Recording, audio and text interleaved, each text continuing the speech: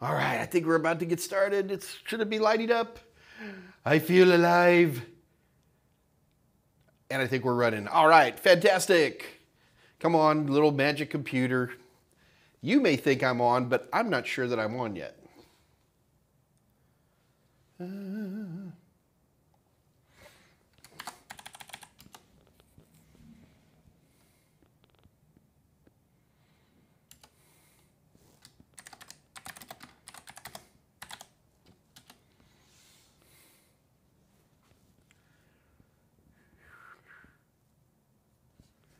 Check one, two, three. Check one, two, three.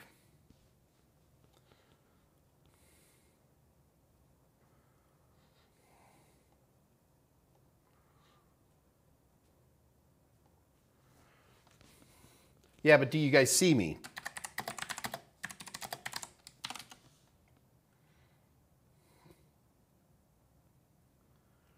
Yeah, but am I really on?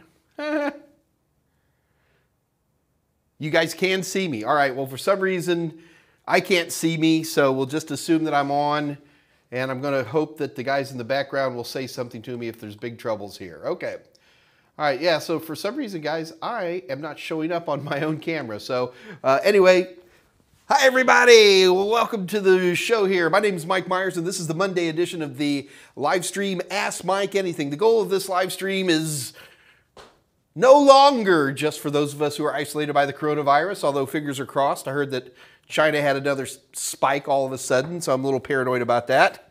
Uh, but the goal of this live stream is to help people who are studying for their CompTIA, primarily A+, plus, Net Plus, and Security Plus. This is an opportunity to ask me questions directly on any of those topics. Now, not only do we do CompTIA A+, Net Plus, Security Plus, but we can do another, a, a broader cross-section of uh, certifications and even non-IT certifications, all I claim no great expertise at stayed up on the latest uh, cloud cert, but uh, we got some pretty good ideas. Uh, man, it's so weird that you guys can see me, yet I don't show up on my little thing. So I'm not going to worry about it because you guys said I was there. Put a mirror in front of me. There you go. I like that one. All right. So anyway, here's how this works. You ask me questions and I answer them. What we do is we start here at 2 o'clock Central Daylight Time. I'm in Houston, Texas, and we will go till 3 o'clock or until the questions run out. So if we run out of questions, no big deal. We end a little early. We do it all the time. It's no problem. I want to be here for you guys. Now, in order to ask questions, you want to type them into the chat window. Now, one of the things you might want to keep in mind is take a look at that chat window. Look up at the top. Does it say top chat? Well, if it does, hit the pull down and switch that over to live chat. We're going to have a competition here, and that may help you. Also, uh, to the right of the live chat where you get the three dots, he doesn't know how to use the three dots, sorry. Uh, go ahead and make sure to toggle your timestamps so you can actually see your timestamps. I find that very, very helpful as well. So, with that, why doesn't I show up? That is freaking me out. All right. Let's see who's all on today. Tolowitz here, Connor, Andre, of course, Andre. Andre, Mars Monster, which looks like a new name to me. Welcome aboard. Bahamad's here. Chris Kent. Mars Monster. Mars Monster is a chatty fellow. Hiru. Cinderfly. Gibson, Onakawu. Man, why you guys, everybody should just be called Smith, or better yet, Meyers. Uh, but everybody's all going, Catherine Morgan, and uh, more people scrolling in. All right, well, anyway, so uh, it's been an interesting day to say the least. Hey, I'm down 45 pounds now. Am I starting to look a little thinner? yeah, we're getting there, guys we've got a lot more to go, but I'm, I'm, I'm starting to feel a little bit better, and uh, I'm pretty excited about that. Uh, I uh, had a nice weekend, actually, pretty darn nice weekend, quiet weekend. I love a quiet weekend. I uh, sitting around drinking good Provence rosé wine and talking with friends. It was absolutely magnificent. Loved it absolutely to death. All right. Uh, so I'm looking for questions. Uh, okay, a couple of uh, things that you might want to keep in mind. Uh, number one, uh, we got a, a, couple of announcements. Uh, Nathan English, where are you, man? Nathan, you won last week, uh, but we haven't heard from you, so I'm hoping he shows back up. Um, we want to get you your prize, but remember, in order to get your prizes here, if you win, then you send us an email. If you're new, don't worry about it. We'll explain it. It's actually pretty straightforward. Also, do keep in mind that just because you're nice enough to be here today, we're offering a 50% discount on combinations of uh, my ebook and uh, my practice tests. So let's say you're studying for the Network Plus. You can get my ebook, Network Plus ebook, and the Network Plus practice questions. We call our practice questions the Total Tester here at Total Seminars. You can get all that for half off. Look, guys, I'm already pretty much the cheapest that's out there, and uh, put 50% off on that. My prices are insane. So please take advantage of that. Now, in order to take advantage of this deal, you have to head over to my website. That's www.totalsem.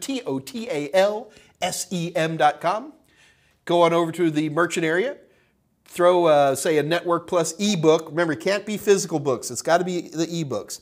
Put the Network Plus ebook and the Network Plus uh, Total Tester into your cart. And just when you check out, just type in the magic code DNA. Do not authorize. I don't know. Hey, Dave Rush does this stuff. I, I, I, I'm, out, I'm out of control, but he does a good job, so I'm happy. And you'll automatically get 50% off. So these are ridiculously low prices, and that's what you do because I love you so very, very much. Buddy Jesus. Um, the other thing to keep in mind is that we do have a happy, healthy, happy Discord channel. Uh, a lot of the people you see on here tend to head over to the Discord channel as well. Uh, Dave Rush will put a link right into the chat window to link to the unofficial Mike Meyers Discord channel. Guys, I do not own or control this Discord channel. My good friend Siegfried Vanderwee does. He does a great job on it. But if he says something that you don't like or whatever, it's like that. Don't blame me. I literally have no control. But uh, so far, so good. Uh, everybody seems to be pretty thick-skinned group. Well, it's not like we're saying horrible things. It's just that, you know, people are people are so sensitive today. All right.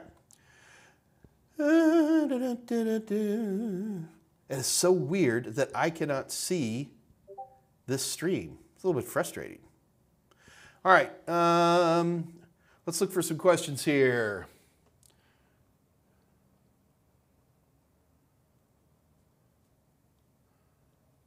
Okay, so this is from Andrew Hutz. Thank Andrew. Um, Mike, and this is at 159, so just before we started. Mike, why did you switch from saying TACACS Plus in, sec- in 501 to saying all the letters individually in 508? Honestly, because I probably forgot.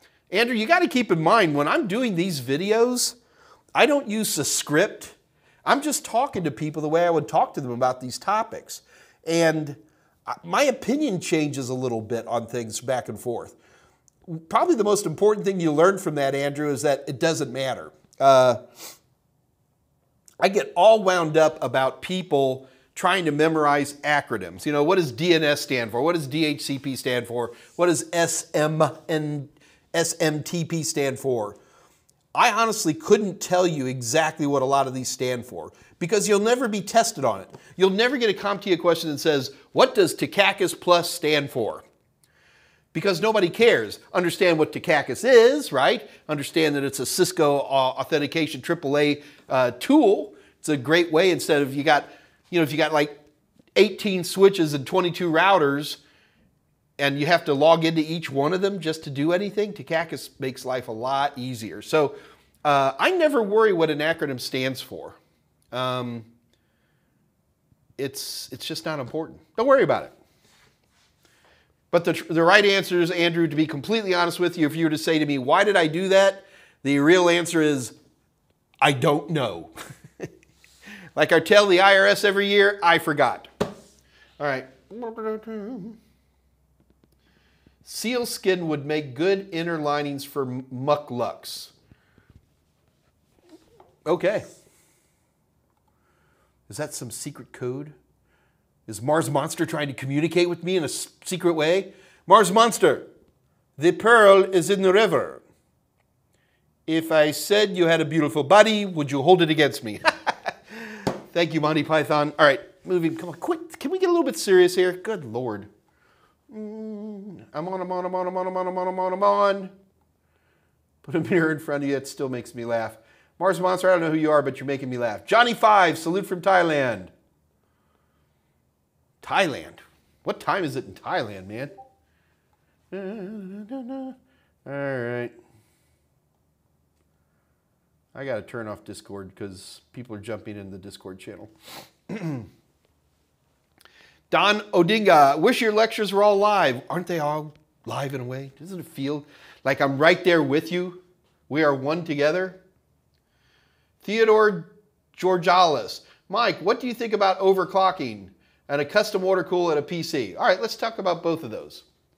Uh, Billy Reed, I just saw your question. I, I, I won't miss that.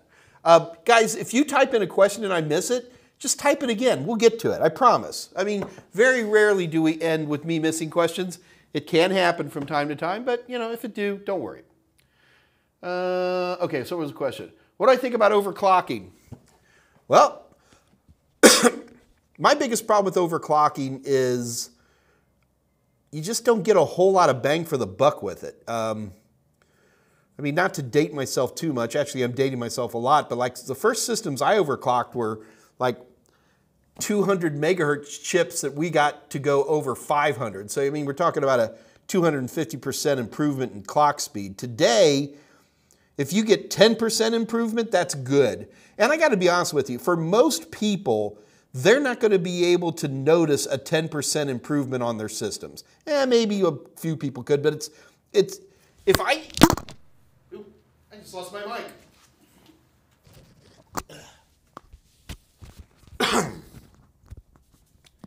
if I have to use a benchmarking tool to tell that my overclocking has sped up my system, I don't think it's worth it personally. It's an interesting thing to do, and as long as you've got the right kind of processors, most of the processors today are pretty forgiving on overclocking, and you're going to be patient, and you're going to have a good, probably the most important thing is have the right motherboard, which basically means ASUS more often than not. Um, uh, there's other ones that are good, but if I'm going to be overclocking, I'm almost certainly going to be using ASUS, especially one of the gaming boards that has the overclocking capabilities really built into it. You know, where I can really adjust RAM timings, for example, which is absolutely critical for any kind of serious overclocking. Um, and also, like uh, Gigabyte also makes some pretty good uh, overclockables, mainly with their dual BIOS kind of setup. So if I mess something up. I mean, I can reset any system, but it's a lot easier if I've got a secondary BIOS to go to, but it's not a requirement. And what do I think about, uh, what do I think about water cooling? It's pretty. Um, you know, it's fun. I don't think it's particularly necessary. Uh, if you're overclocking, you probably want to be looking at a more aggressive cooling system, of course. But for most of us regular Joes who are just running regular systems, uh, liquid cooling looks fantastic. And hey, it is better to look good than to feel good. You know what I mean? Uh, but I don't think it's really necessary. But it is pretty, especially when you put little bit metallic flakes in the liquid so it's sparkly. Because sometimes it's, it's important to look good.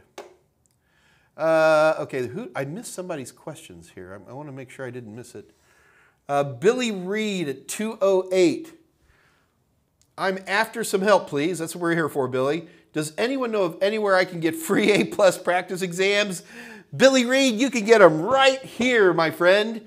Billy Reed, every day we have a, a competition where I give away practice tests. Uh, these are my total tester practice tests, which I consider the gold standard for any uh, CompTIA uh, training. And uh, you can get them right here. I, I give away a free set every day.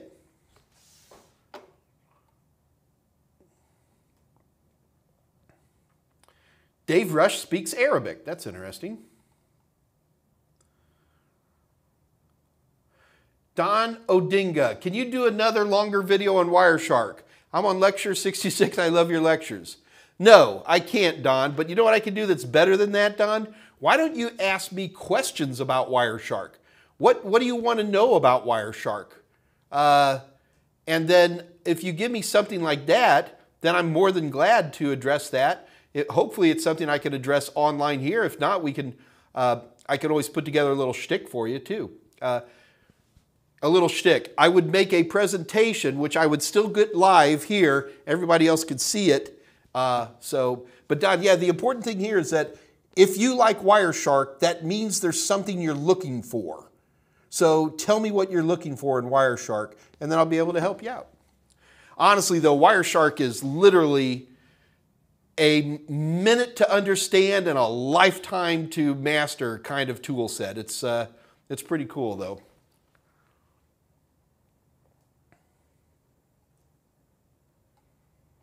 Hmm. Guns? Catherine Legrande. Jared's here. Okay, now we're talking. Johnny Five, two in the morning in Taiwan. Good man. Uh, Rainbow Jesse, good to see you again, my brother. Hey, or, or sister, how do you want to do a quick lesson on? Do you want to do a quick lesson on binary numbers? Do I want to? No, don't. Uh, but I, Rainbow, you got to ask, what, what do you want to know about binary? And the reason we use binary in computers is because computers have, they're either on or off, and they have little wires that either have a voltage on it or they don't have a voltage on it. That's the cornerstone by which all IT works. And, uh, I mean, what about binary? It's ones and zeros. You want me to, here, you want me to see me count to 10 in binary? Zero, one, 10. There we go. You got, you got to get that body movement in there too.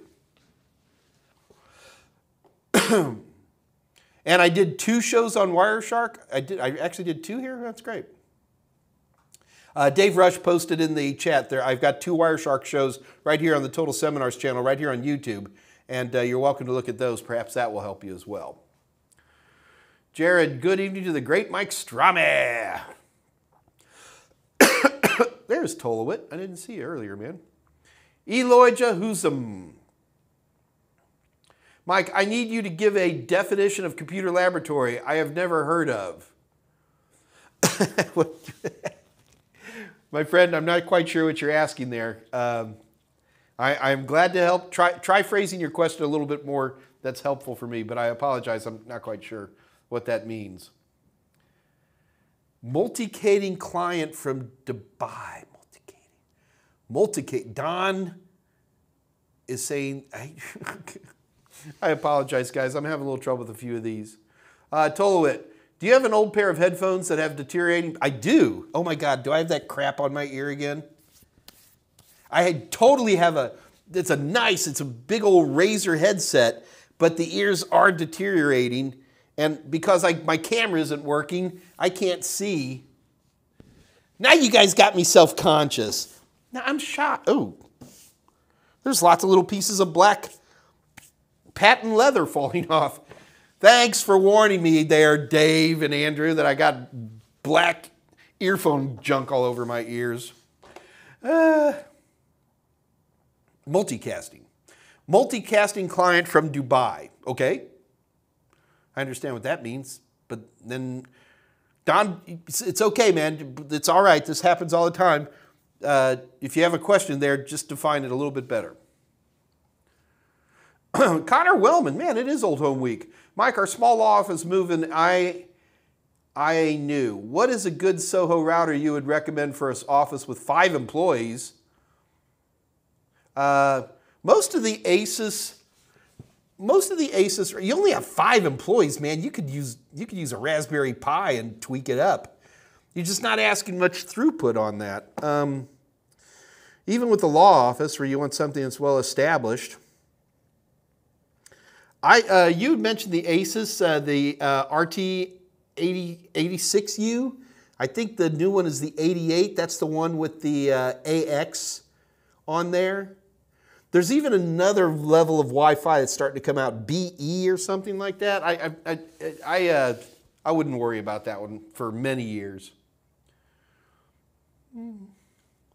But I do. I, uh, Asus for home routers uh, the Asus I've got running at my house, which is my, I, I have the home router that comes from uh, AT&T, but then behind that is my Asus, and that thing has run for a year and a half, no resets, no nothing, which for somebody like me is pretty impressive. I, I can't say anything better than that about it. Uh,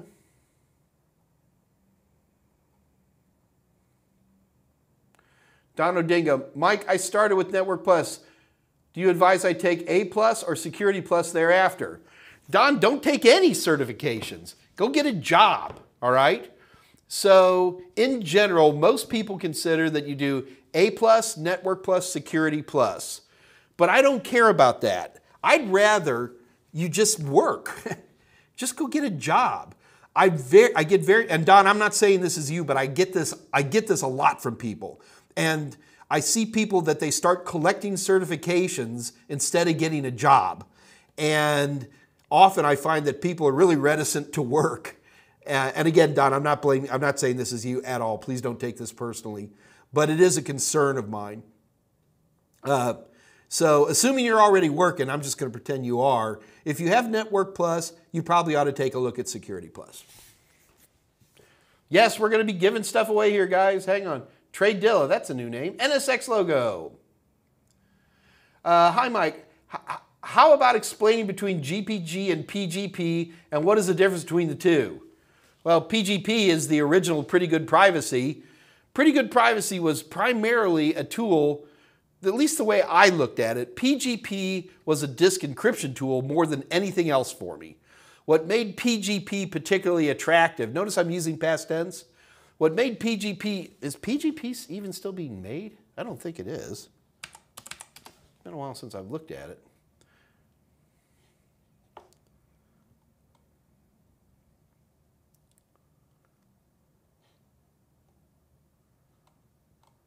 Bear with me just a minute.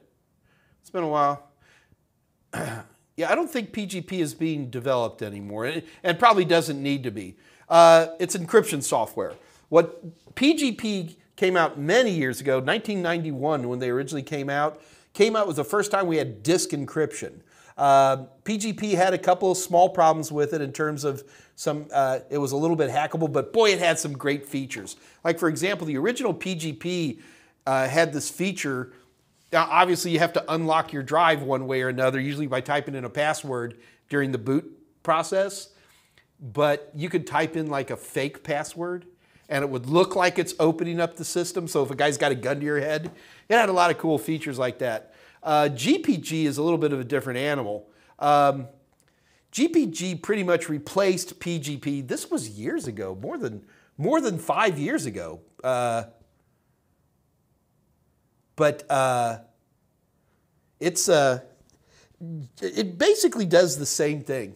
Um, PGP had a little bit of an issue. In fact, for one of the things that people didn't like about PGP is that it was completely uh, command line. So especially if you're a Windows user, uh, GPG is also uh, completely, as far as I know, it is completely command line as well. And you know, today Windows you know has pretty good encryption built into it these days and stuff.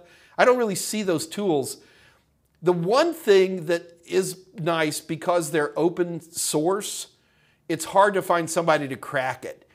Uh, theoretically, if you were being a really bad person, the FBI could call Microsoft and uh, have access to an encrypted drive. Although I don't think that's true, uh, but you know you'll still see you'll still see them used out there.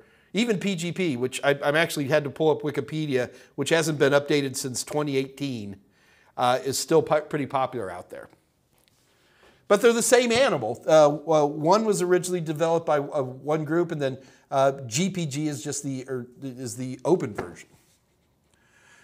Oh, good. Thanks. Uh, I also want to let you guys know uh, we've got two great speakers coming up, and they both happen to be ladies. Yes. Uh, so on May 2nd, we've got uh, Jessica Dickerson, and we're going to be here talking about go get a job. About two weeks ago, we had some questions on getting work, and I, I want you to know I'm going to be addressing those on May 2nd. I apologize, it's taken me a while to get there, uh, but I had a, a, piece of big news which I still can't tell you guys for a few more weeks. Um, and uh, it's, uh, it's, it's uh, pretty good stuff. So, uh, uh, Jessica Dickerson will be here on May 2nd. And then on May 11th, we actually got a real special treat for you. Elaine Batzer is going to be coming down, flying down to Houston. She's coming down to Houston to see some family. Lucky us. Uh, Elaine has a super amazing program uh, up in uh, Massachusetts. And uh, I'm very excited that she's going to be here, and we're looking forward to having her come by and uh, talking with us too. So that, that's great stuff. Uh, did I miss any questions? Jared Graham at uh, 222. Would you categorize an ISP tech support job as a help desk job? No, no, not necessarily. Uh, you got to be really, Jared, for one thing, these names of jobs almost mean nothing. Uh, I, I, I, don't even listen to these words very often. Uh, but uh, would, would I categorize it as a help desk job? Well, I mean, it's ISP support.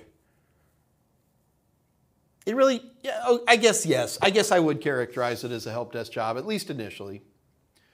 Wilson's enjoying my N10008 book. Thank you, sir. Appreciate that. Uh, Dave Rush at 223 put that Discord uh, invitation. Do check out that Discord channel, guys. We're, we're having a lot of fun in there. Uh, the big exclusive. Some companies don't want to hire people for entry level roles without certifications, but it depends on the company.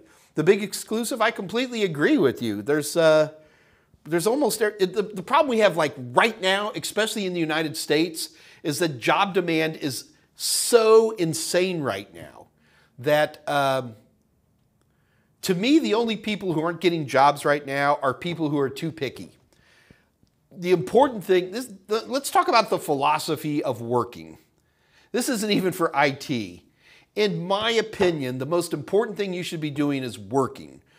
You can always keep applying for that next job. In particular in IT, for your first three years in IT, it's very common for people to jump around. If I saw somebody with four jobs in three years, but it's the beginning of their career, I wouldn't even blink.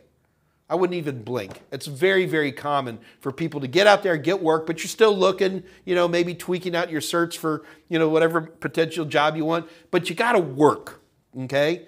And uh, when I hear people they are not getting jobs right now, and I start talking to them, all of a sudden it's like, well, you know, I have a medical condition, which is tough, but you know, it makes it harder to get a job. I have very specific hours. I won't work weekends. I'm not going to move out of teeny little town in the middle of Nevada that nobody's around. I mean, those are the things that usually run into it. I must have a remote job.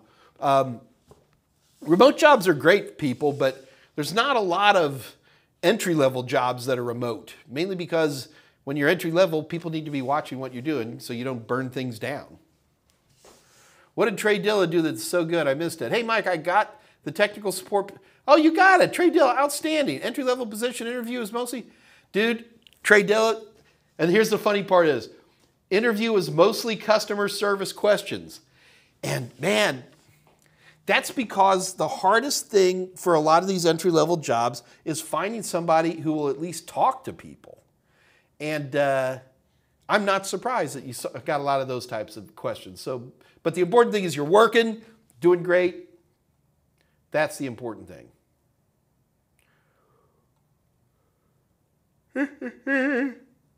David Mohan. David Mohan. Guys, we have a celebrity in our midst. It is my good friend David Mohan. He's over in the UK. David Mohan invented the term, you ready? To be Mohand. Dave, we, we give stuff away, and David was, he's just, a great technician. And he won so many prizes that he basically broke the bank. And I'm like, eh, Dave, you don't get anything else.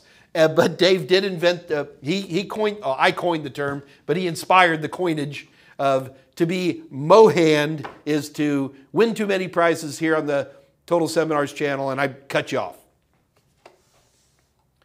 Da -da -da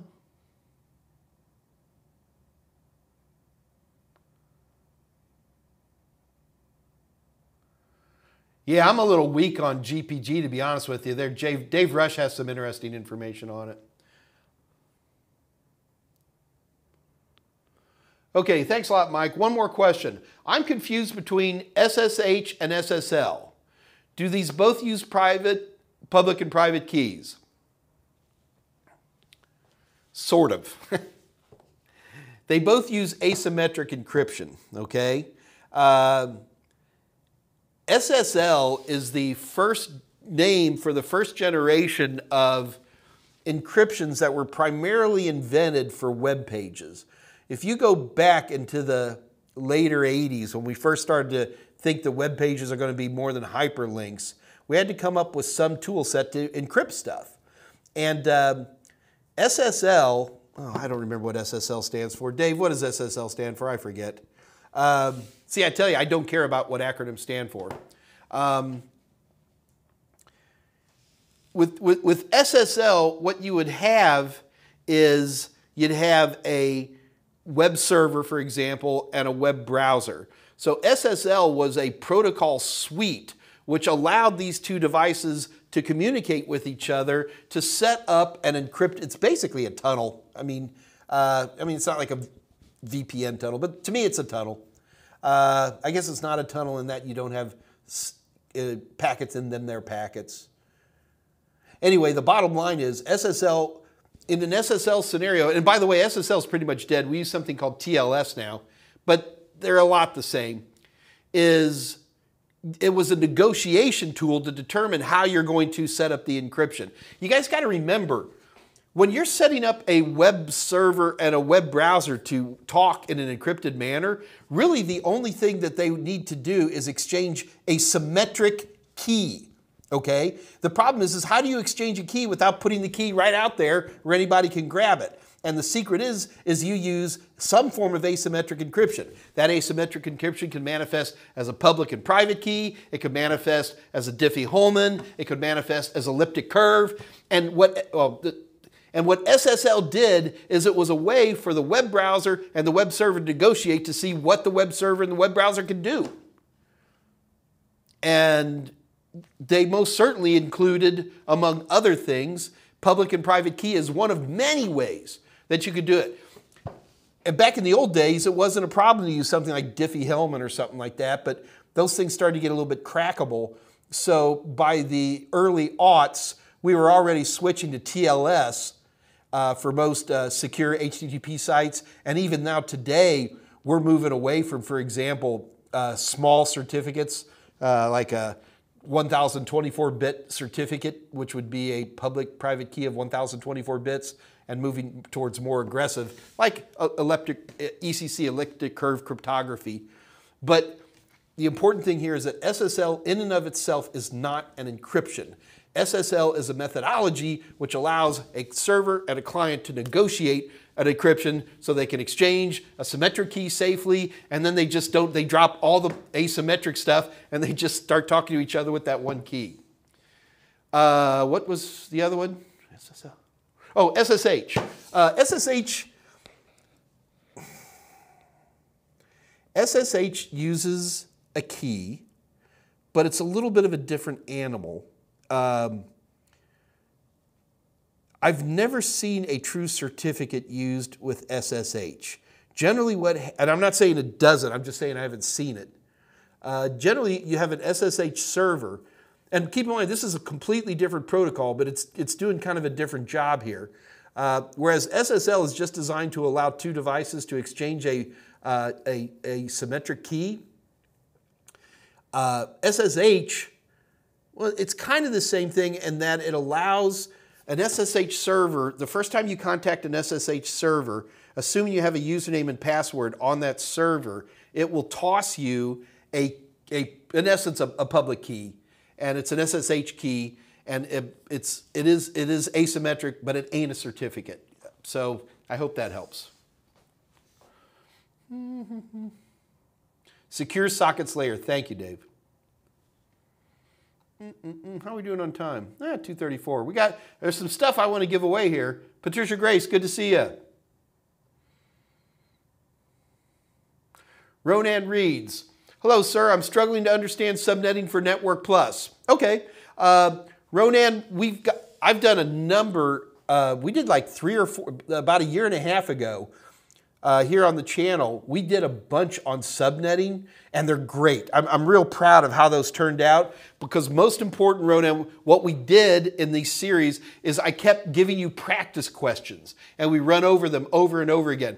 Please just do a search right here in the Total Seminars channel look up subnetting. You can find those, uh, find those links. Dave Rush actually even gave you a link. Um, and it starts in uh, something called CIDR, C I D I, well, CIDR, sure, part one. And uh, please check that out. Watch those videos, and if you still have problems, I think you're going to like them because we basically, I show you the types of questions that you're going to see. Obviously, I don't know the exact questions. Wouldn't I wouldn't even do that if I knew the exact questions. But I give you the, the style of the questions, which I think is what most people want to learn. And uh, the one thing I will give you a clue is that there's no IPv6 subnetting. It's all IPv4, which it's a little bit of a different animal with IPv6. I mean, it's the exact same thing, but some of the little tricks that we play are a little different. Uh, it's dirtier. Lactose intolerant can't work near bakeries or dairies. Mm-mm-mm. Supersonic light speed. Tell what, always secure sockets. Everybody, everybody was, from when I was trying to remember what the heck SSL was. Mars Monster, I just had an interview for a help desk position at a casino here in Washington.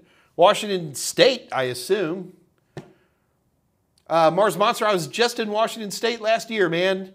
I was up in, what's that uh, super famous national park in the northwest corner of Washington State?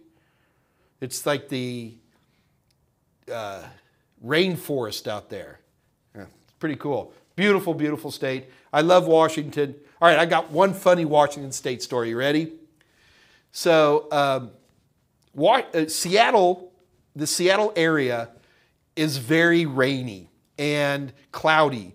And people who live in Seattle, they point at clouds a lot. Like, do you see those clouds over there? That's Mount Rainier. Do you see those clouds over there? That's the Olympic Range. So they pound, and here me, I'm just a flatlander. I'm like, I see clouds. Here you guys go. If you ever go to Seattle, here's a term you need to know. Are you ready? Oh, look, the mountain is out. What they're trying to tell you is that it's one of those rare days where it's sunny and you can actually see the mountains. So they say the mountain's out. So I was in Seattle. I wasn't even in Seattle. I was way south of Seattle in a little town called Puyallup. Don't ask me how to spell it. So we're, Mount Rainier is way south of Seattle, so we're getting pretty close to Mount Rainier. And the mountain was out. I live in a swamp. Houston is a swamp. We have our idea of a mountain is an overpass, right? And I'm so not programmed to look for a mountain. I'm like, I don't see. Oh God! I mean, it was the mountain. It was Mount Rainier is kind of perfectly triangular shaped, and I'm looking. at the thing was like Oh my God, I fall backwards. All the locals are laughing their rear ends off. The mountain is out. Yeah, yeah. I got a lot of jokes about Washington, but one of my exes is from Washington. Ah, funny story.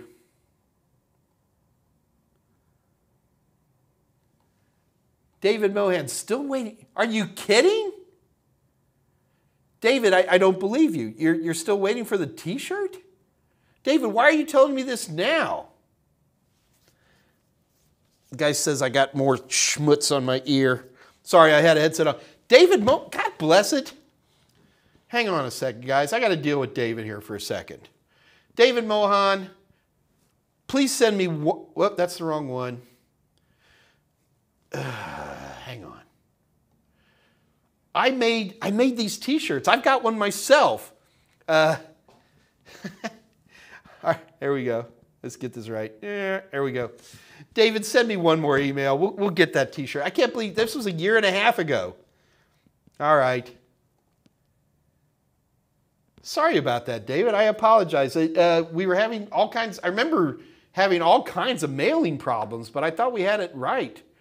David, I probably have all your shipping information, but please go ahead and send it to me one more time just to so I don't have to keep asking for it. I really apologize, David. I mean, David invented to be Mohan, so I made him a nice t shirt. Oh well. I need to pull, pull one out, David, so you at least see what they look like. They're fun.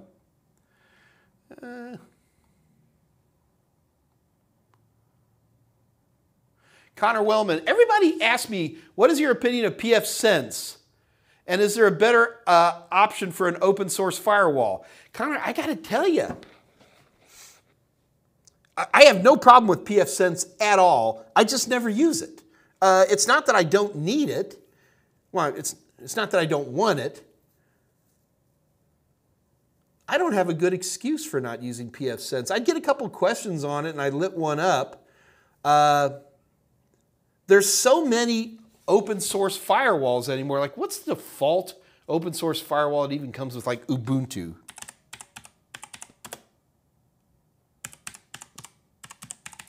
Don't even remember the name of the thing. Uh, and I understand open source.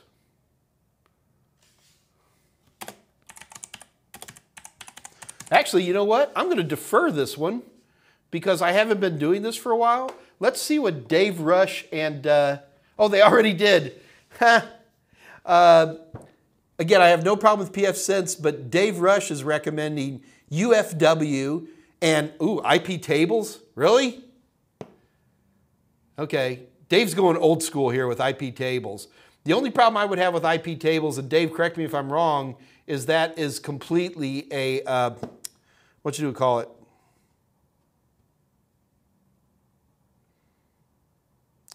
English is not my first language today.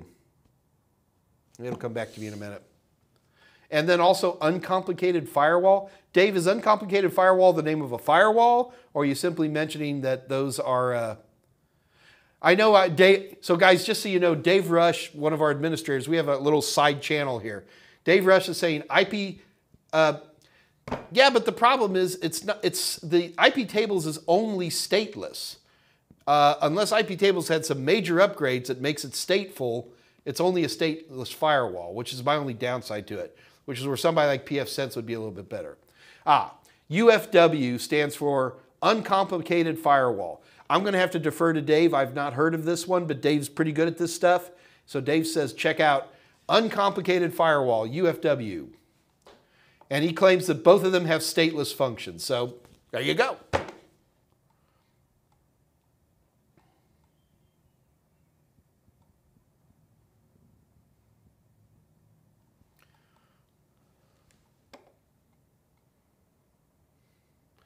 Uh, Don Odinga. Also, Mike, can I get the certificate from Udemy? No. You can get the training from Udemy, but in order to get the certificate, you have to take an exam. And you'll take that exam uh, uh, through, uh, CompTIA administers these exams. So when you, when you go through a, certi- uh, a course on Udemy, you might get a certificate, but that's just a certificate of course completion. That is not the actual certification. Do not confuse the two. And honestly, Don, that's where the money is spent. You, you got to pay for those things.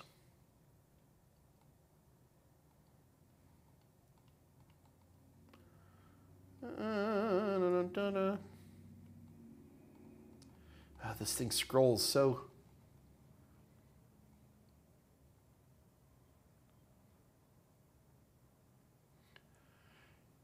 Johnny 5 at 232. Hey Mike, is it possible to find the web address for a new TP-Link wireless network card on Windows OS if that makes sense? Sure. Uh, the, the, thing you got to remember is that we have so many devices that are out there that have a uh, built-in default address that uh, the first and this this isn't just for a TP-Link device. This could be for anything if somebody hands you a some kind of you know IoT device and you want to get access to it, I mean you're going to have to look at the device. Number one, find the serial number. Okay, uh, get the mo- I'm sorry the model number and look it up. They're all the default IP addresses are on there. If you can't ping it with that, then do a factory reset to find it. The other thing you could do is there's a bunch of tools out there. Um, uh, Angry IP Scanner is an ancient tool. It's 20 years old, but it still works great on IPv4 networks. Angry IP Scanner. And just run that on your network and let it query all the devices on your network. It's free. Uh, and uh, that's that would probably be a better way to do it.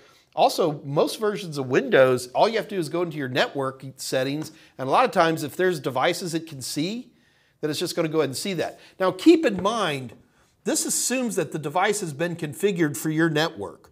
So let's say your network is 10.11.12 WAC24.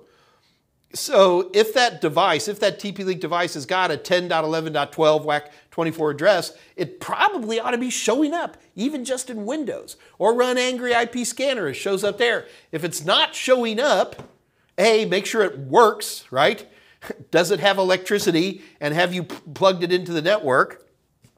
And if it's wireless, you're probably just, you know, most wireless devices, there's, uh, there's two ways to configure a wireless device. Number one, plug it in. That assumes that that wireless device also has an Ethernet connection, which a lot of them don't. Or number two, set it to a factory reset, whatever the device is, and then there's usually a phone app, nine times out of 10. And that device, when you set it to its factory, wirelessly, it will make its own little wireless network and will temporarily pop a default um, SSID, and you need to download whatever configuration app it needs and then run it, and then you're in good shape. So hopefully that helps.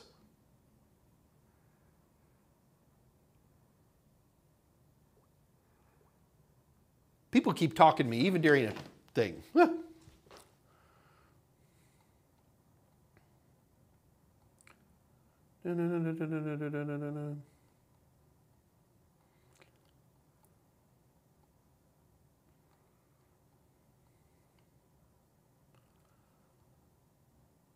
Oh, Mars Monster. The HOH Rainforest. That's it. Thank you, Mars Monster. I'd forgotten it. It was a beautiful place. Washington State is absolutely gorgeous in the summertime. I'm the guy that you live five minutes from Puyallup. Oh man, Mars Monster, we could probably talk and talk.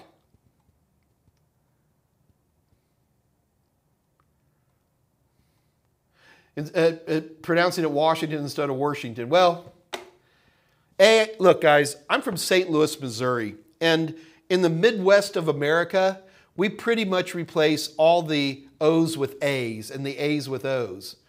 10 minute mark? Oh, goodness, we are running short on time. Oops, oops, oops. Okay.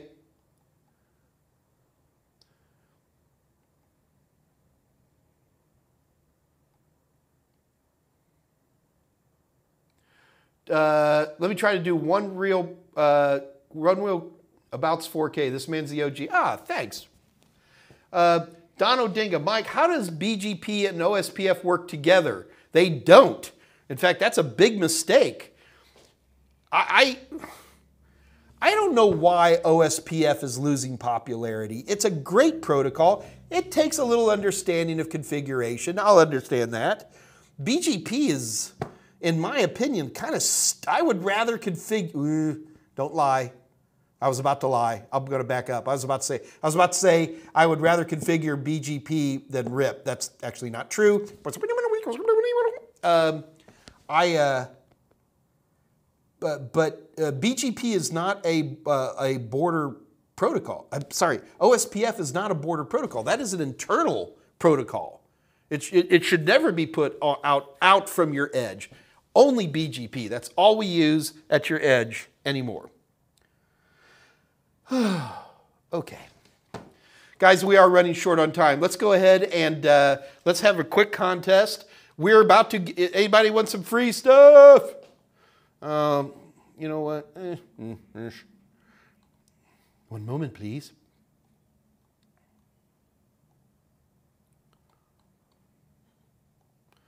We're about to have a competition, folks, and this is, uh, we're going to have to stop with this one.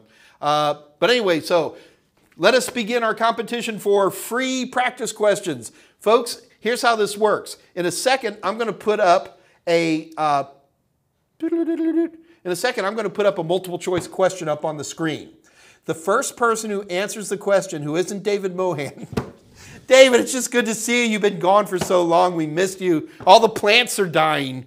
Uh, the first person to answer the question right wins 90 day access to the practice questions of their choice. A plus, Net plus, Security plus, IT fundamentals. We got tons of them, all kinds of different stuff. And you get to pick whatever you want. Um, and uh, but you have to win the contest. So, couple of rules. Rule number one: this contest is not fair. I would like it to be fair, but I'm not smart enough to come up with a way to make it really fair.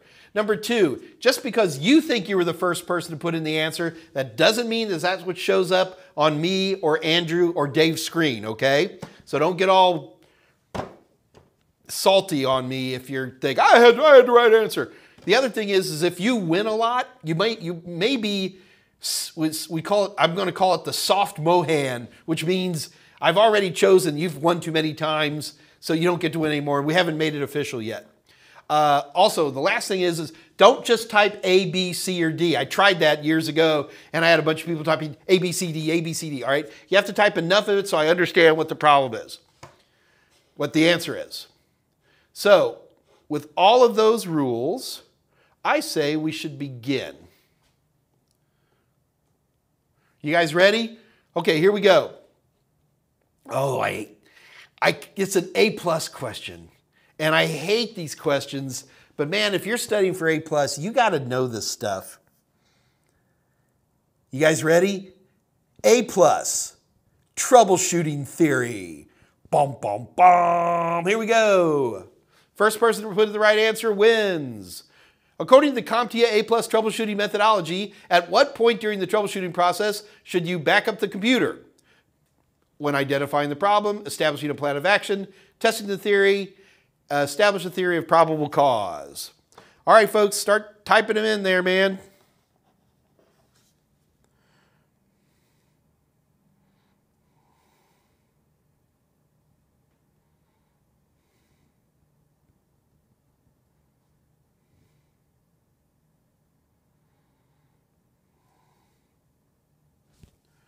I'm giving everybody a minute to type some stuff in.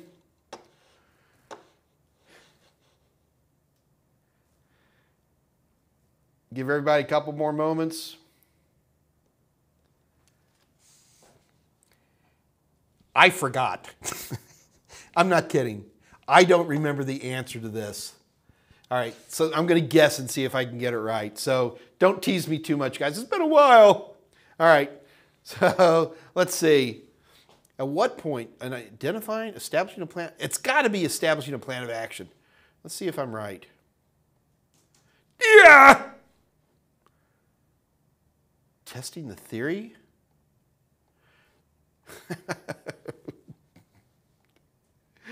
I'm so embarrassed. I don't remember this dumb, I hate these questions, but CompTIA asks these, a lot of them. They do it on the A on the Network Plus too. I'm not going to let you guys watch me because if I'm, I've already tried two and I'm wrong, can't be that. It is. Are you having fun at my expense? I would be. All right, it seems that the answer, the correct answer is A when identifying the problem. By the way, folks, this is actually the total tester tool. A is correct. uh,